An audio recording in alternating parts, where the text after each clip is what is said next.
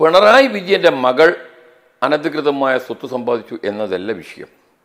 മുഹമ്മദ് റിയാസിന്റെ പത്നി അനധികൃതമായി സ്വത്ത് സമ്പാദിച്ചു എന്നതല്ല വിഷയം. പബ്ലിക് സർവന്റായ മുഖ്യമന്ത്രിയുടെ മകൾ അല്ലെങ്കിൽ പബ്ലിക് സർവന്റായ പൊതുമരാമത്ത് വകുപ്പ് മന്ത്രിയുടെ മകൾ. ഇപ്പോൾ തെളിവ് വന്നിരിക്കുന്നത് എനിക്ക് തോന്നുന്നു പ്രിവെൻഷൻ ഓഫ് കറപ്ഷൻ ആക്ട് രണ്ടായിരത്തി പതിനെട്ടിൽ മോഡി ഗവൺമെന്റ് അടിച്ച് പൊളിച്ചു തകർത്തു. അതിന്റെ എല്ലാ വിഷപ്പല്ലുകളും നീക്കിയെങ്കിൽ പോലും അതിലിപ്പോഴും നിൽക്കുന്ന വളരെ സ്ട്രോങ് ആയ ഒരു പ്രൊവിഷനനുസരിച്ച് കേസെടുക്കുകയാണെങ്കിൽ ഒരുപക്ഷെ എസ് എൻ സി ലാവിലിനേക്കാളും തെളിവുള്ള കേസായി ഇത് മാറും. നമ്മളൊന്ന് പരിശോധിക്കണം. അഴിമതി നിരോധന നിയമപ്രകാരം പതിമൂന്ന് വൺ ബി എന്നൊരു വകുപ്പുണ്ട്. പൊതുസേവകൻ മനഃപൂർവം സ്വയം നിയമവിരുദ്ധമായി സമ്പന്നനാകുക.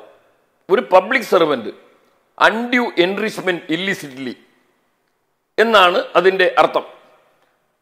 അപ്പൊ പൊതുസേവകനായ അപ്പൊ ചോദിക്കും വീണ പൊതുസേ വീണ പൊതുസേവകിയല്ല. അതിന്റെ ഒരു വിവരണമുണ്ട്. പൊതുസേവകൻ മനഃപൂർവം സ്വയം നിയമവിരുദ്ധമായി സമ്പന്നമാകുക എന്ന് പറഞ്ഞാൽ എന്താണ് എന്ന് പതിമൂന്ന് വൺ ബി എക്സ്പ്ലനേഷൻ എഴുതിയിട്ടുണ്ട്. അവിടെയാണ് ഏറ്റവും പരമപ്രധാനമായ ഒരു വിഷയം. പൊതുസേവകനോ പൊതുസേവകന് വേണ്ടി മറ്റാരെങ്കിലുമോ അറിയപ്പെടുന്ന വരുമാന സ്രോതസ്സിന് അനുവാദമല്ലാതെ വരവിൽ കവിഞ്ഞ സ്വത്ത് സമ്പാദിക്കുകയാണെങ്കിൽ സ്വത്ത് സമ്പാദിക്കുകയും അത് തൃപ്തികരമായി ബോധ്യപ്പെടുത്താൻ സാധിക്കാതെ വരികയും ചെയ്താൽ അത് പൊതുസേവകൻ മനഃപൂർവം സ്വയം നിയമവിരുദ്ധമായി സമ്പന്നമായി എന്നർത്ഥമാണ്. അതായത് പൊതുസേവകന് വേണ്ടി മറ്റാരെങ്കിലും മറ്റാരെങ്കിലും എന്ന് പറഞ്ഞാൽ ഈ സെറ്റിൽമെന്റ് ബോർഡിന്റെ വിധി സെറ്റിൽമെന്റ് ബോർഡ് എന്ന് പറഞ്ഞാൽ മൂന്ന് ഹൈക്കോടതി ജഡ്ജിമാരാണ്. അത് ഫൈനലാണ്. ഇൻകം ടാക്സ് ആക്ട് അനുസരിച്ചിട്ട് അത് ഫൈനലാണ്. അത് ഇതുവരെ ആരും ചോദ്യം ചെയ്തിട്ടില്ല. അതിലൊരു ഫൈനിങ് അറിയോ നിങ്ങൾ?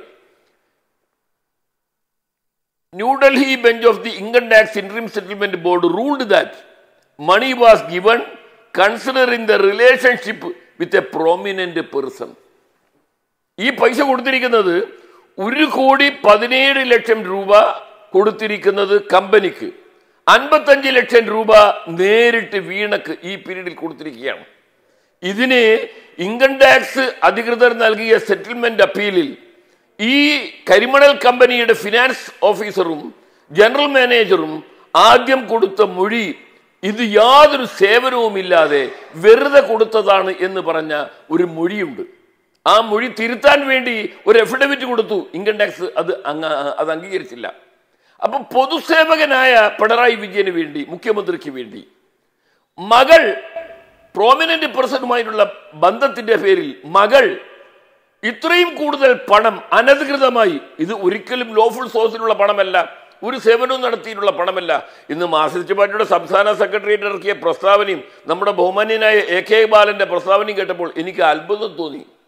ഇവിടെ അഡ്മിറ്റഡ് ആയ ഒരു ഫാക്റ്റ് ആണ്. ഇത് ജൂൺ മാസത്തിലാണ് വിധി വന്നത്. ജൂൺ പന്ത്രണ്ട് ആറ് രണ്ടായിരത്തി ഇരുപത്തി മൂന്നിനാണ് ഈ സെറ്റിൽമെന്റ് ബോർഡിന്റെ വിധി വന്നത്. അതിന് അപ്പീലില്ല അത് ഇന്ന് വരെ ആരും ചോദ്യം ചെയ്തിട്ടില്ല. അത് ഒരു ആധികാരികമായ സ്റ്റാറ്റ്യൂട്ടറി ബോഡിയുടെ ഫൈൻഡിംഗ് ആണ്. ആ ഫൈലിംഗിൽ പറയുന്നു ഒരു കോടി എഴുപത്തിരണ്ട് ലക്ഷം രൂപ ഒരു പബ്ലിക് സർവന്റിന് വേണ്ടി ഒരു പ്രൈവറ്റ് വ്യക്തി അതായത് വീണ വിജയൻ എന്ന് പറയുന്ന പണ ബഹുമാനനായ മുഖ്യമന്ത്രിയുടെ മകൾ ആർജിച്ചിരിക്കുന്നു. പതിമൂന്ന് വൺ ബി അനുസരിച്ച് ഇത് ഇതിൽ കൂടുതൽ ഒരു പൊതുസേവകൻ ആ വിവരണം പരിശോധിച്ച് നോക്കിയാൽ ഇതിൽ കൂടുതൽ ഒരു തെളിവ് എന്താണ് വേണ്ടത്? ഞാൻ ചോദിക്കട്ടെ നമ്മുടെ നാട്ടിൽ ഒരു വില്ലേജ് ഓഫീസറുടെ ഭാര്യയുടെ കണക്കിൽ ഒരു ഒരു ഒരു കോടി എഴുപത്തിരണ്ട് ലക്ഷം രൂപ കണ്ടെത്തി നിയമവിരുദ്ധമായി. ഏതോ ഒരു കമ്പനി നിയമവിരുദ്ധമായി നൽകിയത്. വിജിലൻസ് കേസെടുക്കുമ്പോൾ ആദ്യം ചോദ്യം ചെയ്യാനാരിയ വില്ലേജ് ഓഫീസർ അല്ലേ? ഒരു തഹസിൽദാരുടെ ഭാര്യ അല്ലെങ്കിൽ നമ്മുടെ ഒരു മോട്ടോർ വെഹിക്കിൾ ഇൻസ്പെക്ടറുടെ ഭാര്യ അല്ലെങ്കിൽ മകൾ അവരുടെ അക്കൗണ്ടിൽ ഇത്രയും വലിയൊരു സംഖ്യ വന്നു കഴിഞ്ഞാൽ പ്രിവെൻഷൻ ഓഫ് കറപ്ഷൻ ആക്ട് അനുസരിച്ച് വിജിലൻസ് ആദ്യം ചോദ്യം ചെയ്യുന്നത് മോട്ടോർ വെഹിക്കിൾ ഇൻസ്പെക്ടറി ആയിരിക്കും തഹസിൽദാറി ആയിരിക്കും വില്ലേജ് ഓഫീസർ ആയിരിക്കും. അവർക്കില്ലാത്ത പരിരക്ഷ ലഭിക്കാൻ പബ്ലിക് സർവന്റ് എന്ന നിലയിൽ പിണറായി വിജയൻ ഉണ്ടോ മുഹമ്മദ് റിയാസിൻ ഉണ്ടോ അതുകൊണ്ടാണ് ഞാൻ പറഞ്ഞത് ഈ സെറ്റിൽമെന്റ് ബോർഡിന്റെ വിധി എന്ന് പറയുന്നത് ഒരു ഇലക്ഷൻ എഫിഡവിറ്റിൽ കൊടുക്കാത്തത് അതിൽ പ്രോസിക്യൂഷനാണ് അതിന് ടൈം കഴിഞ്ഞു. ഇലക്ഷൻ പെറ്റീഷൻ കൊടുക്കേണ്ട ടൈം കഴിഞ്ഞു. ഇവിടെ അതല്ല വിഷയം. അഴിമതി നിരോധന നിയമ നിയമം അനുസരിച്ച് ഏറ്റവും സ്ട്രോങ് ആയ ഒരു തെളിവ് ഒരു സ്റ്റാറ്റ്യൂട്ടറി ബോഡി മൂന്ന് ഹൈക്കോടതി ജഡ്ജിമാർ ഉൾപ്പെട്ടതാണ്. ആരെന്നാണ് ജസ്റ്റിസ് അമരപ്പള്ളിദാസ് രമേശ് വാർ സിംഗ് ജഗദീഷ് ബാബു ഈ മൂന്ന് ഹൈക്കോടതി ജഡ്ജിമാർ ഉൾപ്പെട്ടതാണ് സെറ്റിൽമെന്റ് ബോർഡ് അവരുടെ വളരെ വളരെ ക്ലിയറായ ഒരു ഫൈൻഡിംഗ് ആണ്. ഇത് യാതൊരു സേവനവും നടത്താതെ. അപ്പൊ ബാലൻ എന്ന് പറയുന്നു അത് രണ്ട് ശ്രീ അസഫ് അലി. ഈ രേഖയുടെ അടിസ്ഥാനത്തിൽ സേവനവും നടത്താതെ അഴിമതി കേസ് രജിസ്റ്റർ ചെയ്യാവുന്നതാണ് എന്നാണ് ശ്രീ അസഫ് അലി പറയുന്നത്. Hundred percent Kerala vigilance case register ചെയ്യുകയാണെങ്കിൽ ഏറ്റവും കൂടുതൽ അടുത്ത കാലത്ത് ഒരു രാഷ്ട്രീയ നേതാവിനെതിരെ ഇത്രയും ക്ലിയർ കട്ട് തെളിവുള്ള കാരണം ഈ സെറ്റിൽമെന്റ് ബോർഡിന്റെ ഫൈൻഡിങ് ഇതുവരെ ആരും ചോദ്യം ചെയ്തിട്ടില്ല. ഇപ്പോഴും ഒരു സ്റ്റാറ്റ്യൂട്ടറി ബോർഡിന്റെ ഫൈൻഡിങ് ആണ് ഒരു ഭക്തി എന്തായാലും സ്വമേധയാ വിജിലൻസ് കേസ് എടുക്കില്ലല്ലോ ആരെങ്കിലും പരാതി നൽകേണ്ടി വരും അല്ലേ? പരാതി നൽകണം. ആ പരാതിന്റെ മുകളിൽ കേസെടുക്കില്ല. ആ പരാതിയിൽ പിന്നാലെ പോയാൽ ഒരു സെൻട്രൽ ഏജൻസി മുഖ്യമന്ത്രിക്കെതിരെ കേരള വിജിലൻസ് കേസെടുക്കുവോ? അപ്പോ ഈ വെസ്റ്റ് ബംഗാൾ കേസിൽ സുപ്രീം കോടതി പറഞ്ഞത് അതാണ്.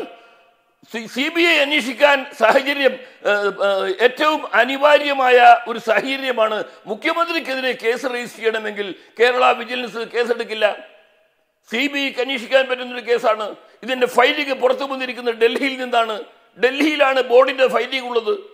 ഞാൻ ചോദിക്കട്ടെ മാർക്സിസ്റ്റ് പാർട്ടിയുടെ നേതാക്കന്മാർ അവരെ ന്യായീകരിക്കുന്ന ആളുകൾ ഞാൻ ചോദിക്കുന്നത് ഇതാണ് ഈ പ്രിവെൻഷൻ ഓഫ് കറപ്ഷൻ ആക്ട് പതിമൂന്ന് വൺ ബിയിലെ ഈ നിഗമനെ ഈ ലീഗൽ പ്രിസൻസിനെ എങ്ങനെ നിങ്ങൾക്ക് റിബട്ട് ചെയ്യാൻ പറ്റും?